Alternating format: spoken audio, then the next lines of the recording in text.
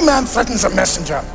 You bring the crowns and heads of conquered kings to my city steps.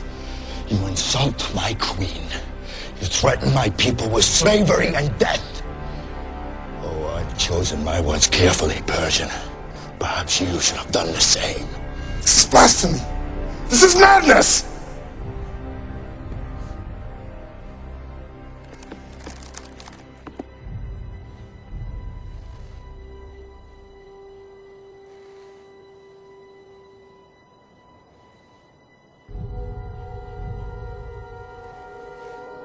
Madness. This is